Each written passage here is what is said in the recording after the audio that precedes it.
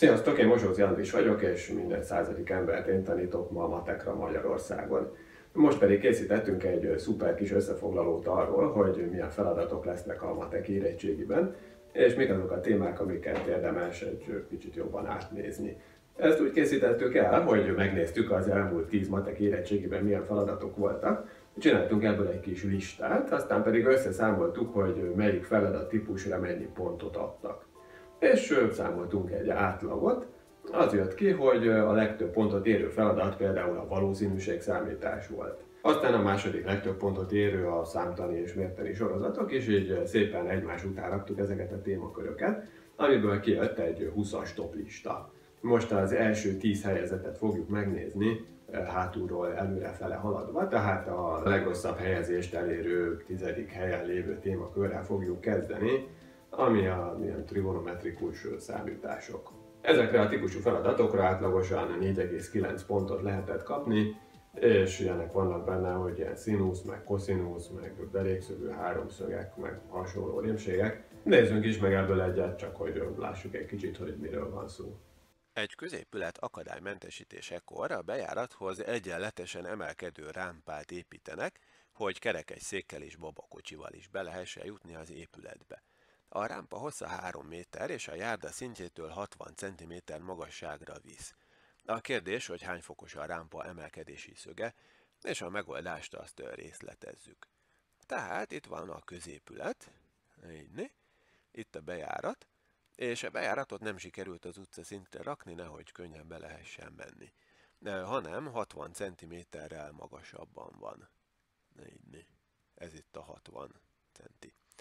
Oké, okay és építenek egy olyan rámpát, ami 3 méter hosszú, tehát valahogy így helyezkedik el a rámpa, zsupsz, és ez így 3 méter. Na most mivel ezt centiméterben adtuk meg, ezért akkor ezt is legyen centiméterben megadva, tehát ez 300 centiméter. És a kérdés, hogy mekkora a rámpának az emelkedési szöge, vagyis mekkora ez a szög itt. Hm, hívjuk mondjuk az egyszerűség kedvéért alfának. Na hát ez itt egy derékszögű háromszög, és a derékszögű háromszögekben, hogyha szögeket kell kiszámítani, akkor ahhoz ilyen színuszok és koszinuszok fognak kelleni. Lássuk, hogy melyik.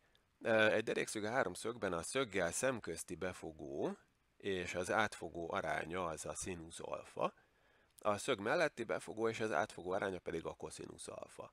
Ez könnyű megjegyezni, hogy színusz és akkor szemközti. Tehát ez most egy szemközti, úgyhogy színusz alfára lesz szükségünk. Mégpedig így, hogy a színusz alfa az egyenlő a szemközti befogó, tehát a 60 centi, osztva az átfogóval, ami hát ez a 300 centi. Oké, okay, és akkor most kiszámoljuk, hogy mennyi 60 osztva 300-zal. Nekem az jön ki, hogy 0,2. Utána pedig ki kéne deríteni, hogy mi az alfa. Ezt úgy lehet kideríteni, hogy a számológépen megnyomjuk a Shift és a Sinus gombokat, aztán utána pedig beírjuk, hogy 0,2. Tehát uh, shift, uh, sinus, és utána 0,2-t, amit uh, hát így kell, hogy egy nullát, aztán egy pontot, és aztán egy kettest nyomunk meg. És hogyha ezeket így megcsináljuk, akkor az alfára kiad egy számot. Egészen pontosan azt írja ki, hogy 11,5369590 meg ilyenek. Viszont ezt mindig 4 tizedes egy pontossággal érdemes kiszámolni, ha csak a feladat szövege nem akar valami mást. Tehát ezt úgy tudjuk megtenni, hogy akkor itt van a 4 tizedes jegy, az utolsót azt kerekítjük, hát igen, ezt 10-re lehet kerekíteni, vagyis akkor ez 7, tehát ez 11,537 fok. Ekkora a szög. 11,537 fok. Csak érdekességképpen nézzük meg, hogy mit mond az építési törvény ezekről az előírásokról. Itt a 66-os paragrafus szerint azt írja, hogy a 17 cm-nél nagyobb szintkülönbség áthidalásához legfeljebb 5%-os lejtésű rámpát kell alkalmazni. Az 5% itt azt jelenti, hogy a 45 foknak az 5%-a, mert a 100%-os lejtő az a 45 fokos, hát ez érdekes, de így van. Ha kiszámoljuk, hogy mennyi a 45 foknak az 5%-a, akkor pedig az jön ki, hogy ez bizony elég kevés, mindössze 2,25 fok. Ez azt jelenti, hogy 2,25 fokos szögnél nem lehetne meredekebb ez a lejtő, ami az akadálymentesítésnél épül a középülethez. De hát amikor építik ezeket a lejtőket, akkor legyintenek ezekre a szabályokra, és azt mondják, hogy ja, jó lesz ez, Pistám, így is, végül is amit tudtunk, megtettünk, a lejtőt megépítettük, hát aztán, hogy használni nem lehet, az már mindegy. Hát ez tényleg nagyon szuper volt, most pedig a következő témakör a toplista 9. helyezett, és ez 5,3 pontot szokott érni az érettségén. Ilyen elemi geometria feladatok, derékszögű háromszögek, meg trapézok, meg hasonló répségek. Hát nézzünk meg ebből is egyet. Egy A4-es papírlap méretei 21 centiszer 29,7 cm, itt látható ezen a csodás rajzon.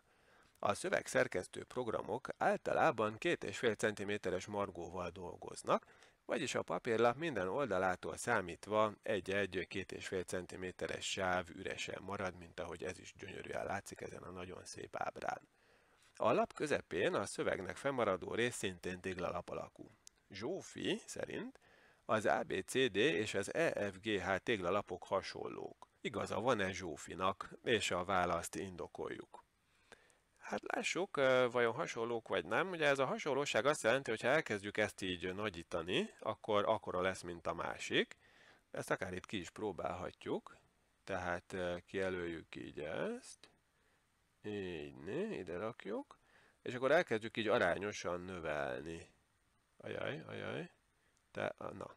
Tehát arányosan elkezdjük növelni, és ha arányosan növeljük, hopp, ez egy kicsit sok, Kicsit visszaveszünk. Így. Akkor vajon megkapjuk-e ezt a nagyot? De hát így ránézésre úgy vesz kb. stimmel, de a helyes válasz az, az lesz, hogy nem. Hát nézzük csak. Hát igen, azért nem teljesen. De mondjuk nem ez az indoklása az, amit szeretnének. Úgyhogy terjünk is vissza ide. Tehát megnézzük, hogy ennek a kisebbik téglalapnak milyen hosszúak az oldalai. Itt lejön belőle két és fél centi, meg itt is. Tehát, hogyha ebből a 21-ből, ami a teljes szélesség, levonunk két és felett, meg itt is két és felett, tehát összesen 5 akkor ez 16 centi lesz. Ez így. Aztán itt is, meg itt is két és fél, tehát úgyis levonunk 5 és akkor ez pedig a 29,7, akkor 24,7. Tehát ekkorák az oldalai a kisebbik téglalapnak hogyha ez hasonló a nagyobbikhoz, akkor a megfelelő oldalak arányai egyenlők. Tehát a 16 osztva a 21-el, ami ennek az oldalnak felel meg, az ugyanannyi kell, hogy legyen, mint a 24,7 osztva neki megfelelő mennyi is 29,7. Tehát elvileg ennek az egyenlőségnek fönn kell állnia akkor, hogyha ez a két téglalap egymáshoz hasonló. Hát nézzük meg, beírjuk a gépbe. 16 osztva 21-el az 0,762, úgy durván. És 24,7 osztva 29,7-tel, az pedig 0,832. Tehát ez azt jelenti, hogy mivel ezek nem egyenlők, ezért a két téglalap nem hasonló, úgyhogy szegény Zsófit ki kell ábrándítanunk, de téved. Most pedig következik a toplista 8. helye a halmazok. A halmazokra is 5,3 pontot lehet kapni az érettségén, és ezek a halmazos feladatok, ezek általában nagyon könnyűek, úgyhogy ezt mindenképpen érdemes egy kicsit átnézni. Nézzünk is meg egy halmazos feladatot. Adottak a következő halmazok, az A, a B és a C. És elemei felsorolásával adja meg a C-A, és hát ezt a halmazt. Na kezdjük ezzel a C-A-val, ez egy nagyon kellemes dolog, és mindössze arról van szó, hogy itt van a C halmaz, és itt pedig az A, és a C-A az azt jelenti, hogy a C-ből kivonjuk az A-t, tehát így fogjuk szépen és így kivágjuk ollóval, és ami marad, na hát az a C-A. Tehát ez itt a C, és elveszük belőle azokat, amik az A-ban is benne vannak. Így kapjuk meg a C-át. Ja, itt van. Tehát akkor van ez a hülye jel, És akkor lássuk, csak a C-ből kivesszük azt, ami az A-ban is van. Hát akkor az egyes az nincs az A-ban, úgyhogy az benne lesz a C mínusz A-ban. Oké. Okay. Aztán a kettes, ajaj, az van, akkor az nem. A hármas, az sem. Az ötös, az sem. A nyolcas, az jó, mert az nincs az A-ban. És a 13-as az van, úgyhogy akkor ennyi. 1 és 8, hát akkor nem is kell. Na ez bonyolultabb, az A unió B, az az A-nak és a B-nek az uniója, tehát a közös része. Ha ez az A és ez a B, akkor hát mindenki. De ezt össze kell metszenünk még a C-vel, és így hát ebben az lesz benne, ami az A unió B-ben is benne van, meg a C-ben is, tehát ezeket keressük. Vagyis azokat, amik a C-ben tutira benne vannak, és az A meg a B közül valamelyikben. Na hát kezdjük el kideríteni. Tehát a C-ben mindenképp benne kell, hogy legyenek, úgyhogy nézzük akkor a C-t megint. Az egyes, az benne van a B-ben, tehát akkor benne van ebben a csúnya dologban is. Oké. Okay. Aztán a kettes. Az benne van a C-ben, és az az A-ban is benne van, tehát akkor ez is nyerő. Szuper. Aztán a hármas, hát itt elég sok lesz. A hármas az benne van az A-ban, úgyhogy akkor az is jó. Aztán az ötös, az is benne van az A-ban. Ajaj, fogy a hely. A nyolcas, az az A-ban úgy tűnik nincs benne, és sajnos a B-ben sincs, úgyhogy akkor a 8-as az nem jó. És a 13-as az jó. Hát egy kicsit túlógtunk, de megvan.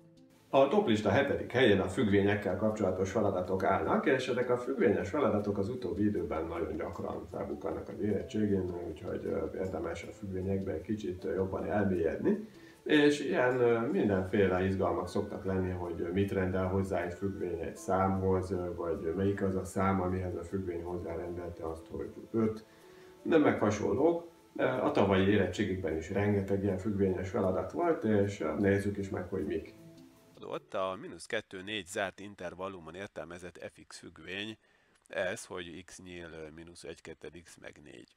Az elkérdés, hogy mit rendel az f függvény az x egyenlő mínusz 3 negyed számhoz. Hát ez nagyjából egy általános iskolás feladat, ugyanis mindössze annyit kell tenni, hogy a mínusz 3 negyedet berakjuk szépen ide, az x helyére, és akkor kiderül, hogy mit rendel hozzá. Azt rendeli hozzá, hogy mínusz 1 2 szer, ez a bizonyos x, meg 4, és lássuk csak, mínusz 1 2 szer mínusz 3 negyed az plusz 3 nyolcad, tehát ez 3 nyolcad meg 4, amit hívhatunk úgy is, hogy 35 nyolcad. A következő kérdés, hogy ábrázolja az f grafikonját és adja meg f értékkészletét. Hát készítsünk ide egy ilyen kis rajzocskát, és próbáljuk meg valahogy felrajzolni a mínusz 1 2 x plusz 4 függvényt. Ez egy lineáris függvény, minden lineáris függvény ilyen alakú, hogy y egyenlő mx plusz b, ahol m a függvénynek a meredeksége, a b pedig a tengelymetszet. Tehát ez a b, ez azt mondja meg, hogy hol metszi a függvény az y tengelyt, és most a b az 4, tehát 4-ben úgyhogy akkor mondjuk nézzük 1, 2, 3, 4.